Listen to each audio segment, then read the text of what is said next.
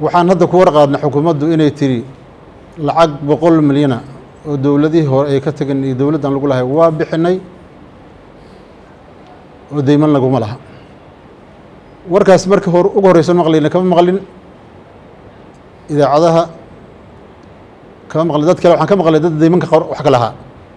Annaga markaan dowladda deyn gelinaynay dabcan deyn anaga kuma deeqno dowladd intaas soo milyan ma deeqi kuma deeqi karno. Dadka soomaliyadan ka qaadnaa dadka aan ka qaadnay qayba kami ka mid aha waxay nagu qabsadeen. War lacagihii waa laydin siiye oo ra'isul wasaaraha sheegay in lacagii la bixiya kaana lacagta keena amankaaga nagu noqotay waa isku noqonay waa kulanay. Haddaan markaas inu dhabiha soo baxday. Hadduu inuu dhabiha soo baxday waa wareeraa nagu dhacay. Lacagii waa la bixiyey. Namana soo gaarin. Inta deymanku ay ka maqnaan diiwaan gelisaan xasuusan ahaan isu raadinay. Lacagta aan diiwaan gelin annaga gruub isku xidhan ayna toba malyan iyo jajabay ahayd.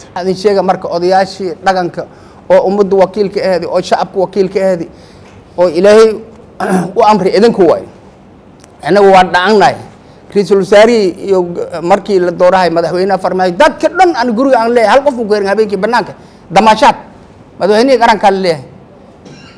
Waxaan lahayn baasiin haddaa helaysin baase ma lahaayo. Waxaan lahayn dawladda markii lacag idin siisa abaalmarin ay ku daraysaa. Abaalmarin ma lahaayo.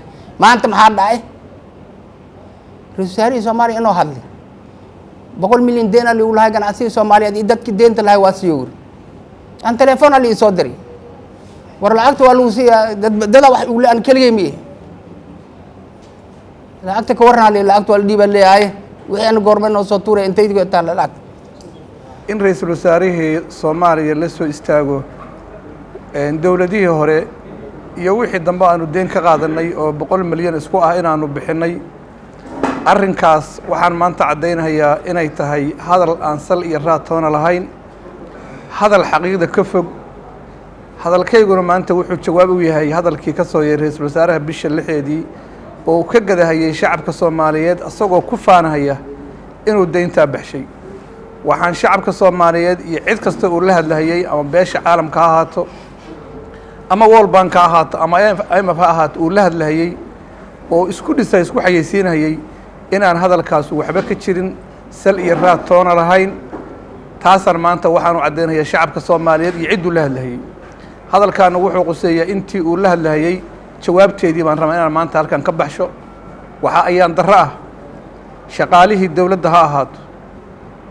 Cidday doonta ha ahaato. Ganacsatadii dalkan u soo baaba'day oo intaa deymaha laga qaadayey oo dalkan heerkaas soo gaarsiisay oo iyadoon dowladdu hal shilin haysan ganacsatadii soo gardaadinaysay ama soo daadahaynaysay oo intaasoo milyan ku bixisay kharashaada meeshii loogu abaalgudi lahaa wanaag iyo horumar iyo abaalmarin la siin lahaa in la masabito oo layihahdo lacagtaa waanu bixinay hal shayna nala kuma leh waa ayaan darro aada u weyn.